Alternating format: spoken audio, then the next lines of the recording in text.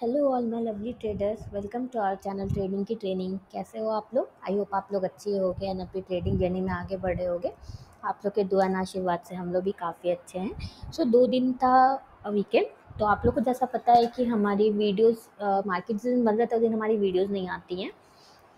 ऐसे हमारी वीडियो जिस दिन मार्केट ओपन रहता है उस दिन हमारी ऑप्शंस की वीडियो फाइव ओ क्लॉक पर आती है एंड स्विंग की वीडियो नाइन ओ क्लॉक पे आती है। एंड जिस दिन मार्केट क्लोज रहता है उस दिन हमारी कोई वीडियो नहीं आती राइट तो जैसा कि आज मार्केट ओपन हुआ था तो हम स्टार्ट करते हैं आज का ऑप्शन ट्रेडिंग का वीडियो आई होप आप लोगों ने वीकेंड पे अच्छे से प्रैक्टिस वगैरह किया होगा। जितना ज़्यादा से ज़्यादा आप चार्ट पे प्रैक्टिस करोगे, उतनी आपको बेटर क्लैरिटी आएगी।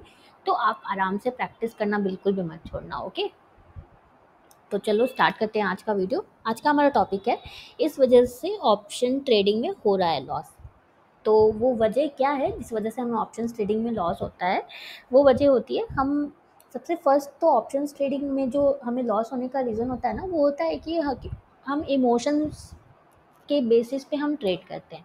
क्योंकि ऑप्शंस जो है, वो हम इंट्राडे करते हैं ना राइट तो इंट्राडे ट्रेडिंग में हमें अपने इमोशंस को कंट्रोल करना बहुत ही इंपॉर्टेंट होता है। क्योंकि हम जो प्राइस जो फ्लक्चुएट करता है, उसे देख के हमें बहुत ही फियर भी आता है, बहुत ग्रीड भी आता है, कभी ऑप्शंस में अगर दस वाला ऑप्शंस कभी कभी ऐसा होता है हंड्रेड हो जाता है तो हमें काफ़ी ग्रीड भी आने लगता है। फिर हम अपने रूल को ब्रेक करने लगते हैं। आप लोग भी, आप लोग भी बताना एकदम एकदम सच बताना आप लोग के साथ भी ऐसा होता है या नहीं होता है। मैं मैं जब बिगनर थी तो मेरे साथ तो बहुत होता था ऐसा। तो इस, इन सब वजह से ही हम लास्ट में ऑप्शन ट्रेडिंग में लॉस में रहते हैं। एंड देन फिर हम स्टॉक मार्केट को हम गैमलिंग बोल के फिर उसको छोड़ देते हैं। तो सबसे पहला रीज़न तो यही होता है कि हम अपने इमोशंस को कंट्रोल नहीं कर पाते, इस वजह से हम लॉस में रहते हैं। एंड सेकेंड और बहुत ही इंपॉर्टेंट रीज़न होता है, हम रिस्क को मैनेज नहीं कर पाते। हमारा टारगेट जो है वो 69 का है, मान लो। तो जब 67 तक भी जाता है तो हमें लगने लगता है सेल कर दें सेल कर दें। या फिर हमारा स्टॉप लॉस हिट हो चुका होता है, फिर भी हम उसको होप में होल्ड किए रहते हैं कि नहीं, ऊपर जाएगा प्राइस बढ़ेगा प्राइस बढ़ेगा।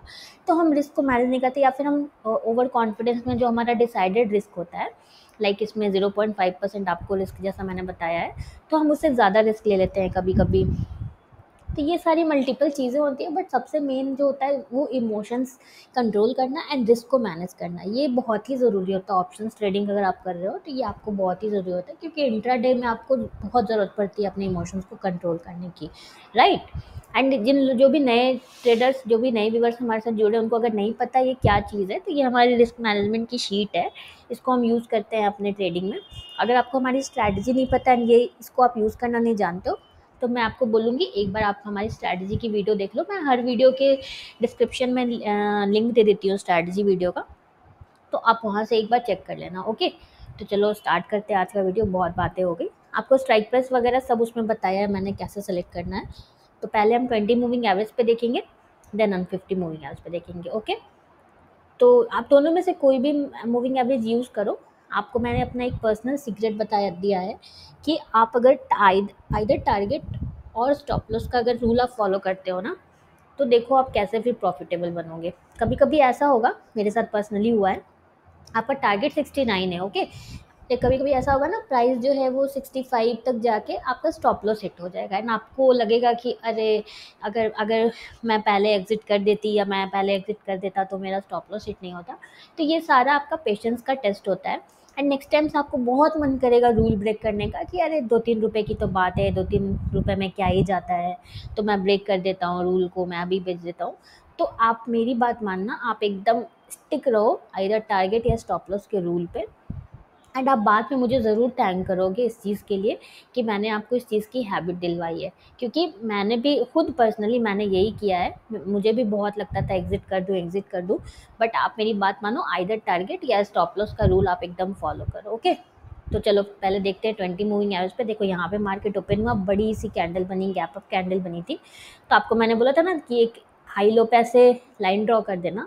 एंड जब तक इस रेंज के अंदर प्राइस रहे, आप बाई के ट्रेड नहीं लेना। बट देखो, इस रेंज से तो बाहर निकला। राइट तो यहाँ पे हम बाई का ट्रेड ले सकते हैं। इस कैंडल पे लो या इस कैंडल पे लो डजेंट मैटर क्योंकि दोनों ही अच्छा कैंडल है। बट अगर आपको इस पर कन्विक्शन उतना नहीं आ रहा है तो आप यहाँ पे भी ले सकते हो। इस कैंडल पे भी ले सकते हो। ओके चलो देखते हैं। इसमें एंट्री हमारी देखो हो गई। एंड देन यहाँ पे देखो फिर से एक एंट्री आई हमारी। अच्छे से स्विंग के साथ। प्राइस ने सपोर्ट लिया मूविंग एवरेज पे, देख रहे हो आप? And just see the performance just see ये ये सारे ट्रेड्स आपके कितने आराम से टारगेट गए हैं, आप देख सकते हो। देख रहे हो आप? अगर आपने मान लो कि तीन ट्रेड नहीं, दो ही ट्रेड अगर आपने लिया होगा, चलो मैं इसको डिलीट कर देती हूँ। आपके दोनों ट्रेड देखो कितने आराम से आपके टारगेट गए हैं राइट देन यहाँ पे देखो एक ट्रेड आया फिर आपका। यहाँ पे एक ट्रेड आया। है ना, बहुत ईजी हमारा ऑप्शंस का स्ट्रैटेजी है ना, काफ़ी ईजी कोई कोई कॉम्प्लिकेटेड कुछ भी नहीं है उसमें। बट ये आपका fifty six point five fifty ये आपका स्टॉप लॉस हिट हो गया। एक ट्रेड आपका स्टॉप लॉस हिट हो गया। देन देखो, यहाँ पे यहाँ पे देखो, ये प्राइस अगर साथ साथ में मूव कर रहा है मूविंग एवरेज के, देख लो आप एकदम साथ साथ मूव कर रहा है। अगर ये इस तरह से मूव करके यहाँ पे आता ना सपोर्ट लेता। तो ये काफ़ी अच्छा हमारा यहाँ पे एक ट्रेड बनता है इस कैंडल पे। मैं दिखा रही हूँ आपको। वन सेकेंड इस वाले कैंडल पे जिस पे मैंने मार्क किया है अभी, आप देखना।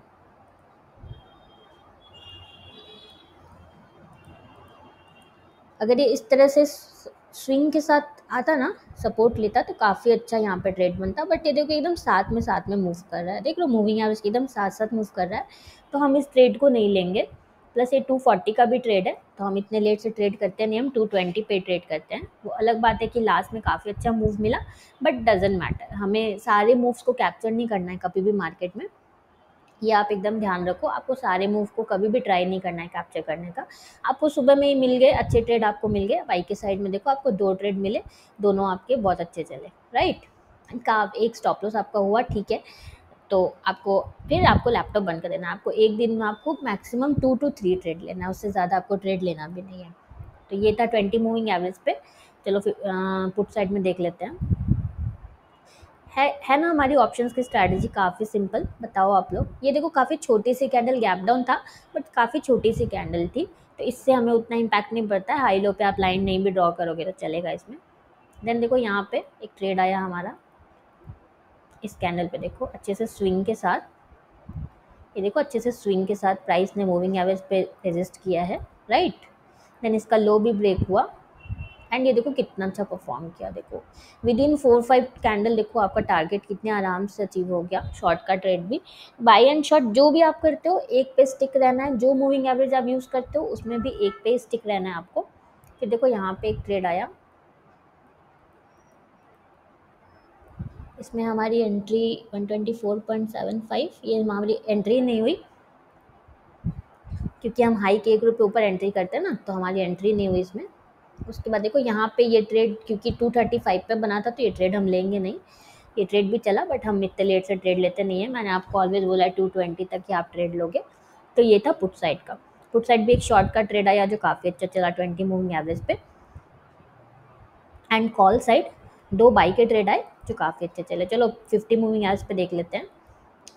आई होप कि आप लोग को इतनी सिंपल स्ट्रैटेजी फ्री में मिल रही है तो आप लोग इसका फ़ायदा उठा रहे होगे। अब तो दो महीने हो गए हमारे चैनल को ओपन हुए हुए। आप लोगों ने काफ़ी सपोर्ट भी किया है हमारे चैनल को। आई I मीन mean, आपके चैनल को सॉरी ये मेरा चैनल नहीं है ये आपका चैनल है ये आपका अपना चैनल है।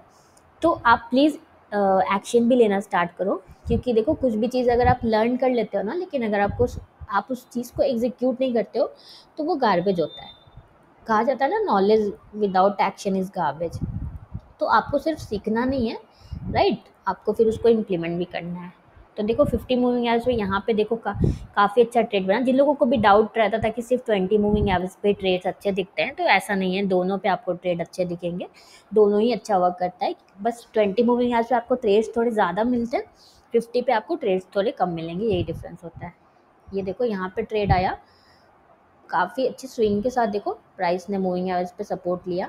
एंड देखो, इसका परफॉर्मेंस आपके सामने है, देखो। फिर यहाँ पे जो ट्रेड था, ये टू थर्टी का ट्रेड था तो मैं इसको काउंट नहीं करूँगी। इतने लेट से हम ट्रेड नहीं लेते हैं। राइट यहाँ पे जो था, इसको आप देख सकते हो टू फाइव पे जो ट्रेड था। ये आपका स्टॉप लॉस हिट हो गया। एंड देन री एंट्री आप, क्योंकि काफ़ी लेट हो चुका था तो आप री एंट्री करते नहीं। तो ये, यहाँ वाला ट्रेड जो था, ये आपका काफ़ी अच्छा चला। एक ट्रेड आपको मिला तो काफ़ी अच्छा चला। चलो पुट साइड भी देख लेते हैं एक बार। पुट साइड भी आज आपको एक ट्रेड शायद मिला, होगा शॉर्ट का। यस देखो, काफ़ी ब्यूटीफुल ट्रेड आपको मिला यहाँ पे। एंड वन साइड मोमेंटम मिला, मैं दिखा रही हूँ आपको। लाइव मार्केट में देखो, आपको ऐसा ही दिखेगा ना। अच्छे से स्विंग के साथ प्राइस ने मूविंग एवरेज पर रजिस्ट किया। नेक्स्ट कैंडल पे देखो एंट्री ट्रिगर भी हो गई। ये सारे ड्राइंग्स रिमूव करती हूँ मैं। एंड देखो परफॉर्मेंस देखो आप खुद ही। अगर यहाँ पे आपका एंट्री मिस हुआ तो आप यहाँ पे भी एंट्री कर सकते थे। एंड फिर देखो परफॉर्मेंस देखो। देख रहे हो आप कितना अच्छा परफॉर्म किया इसने? जस्ट सी तो दोनों मूविंग एवरेजेस वर्क करते हैं। द थिंग इज़ कि ऑप्शन बाइंग भी वर्क करता है ऑप्शन शॉर्टिंग भी वर्क करता है। द थिंग इज़ कि हमें क्या चलाना आता है? तो आप लोगों ने लाइव देखा ना आपके सामने मैंने दिखाया कि दोनों दोनों में ही स्ट्रैटेजीज वर्क करती हैं। बैंक निफ्टी में भी ये स्ट्रैटेजी सेम वर्क करती है, सब कुछ सेम रहेगा।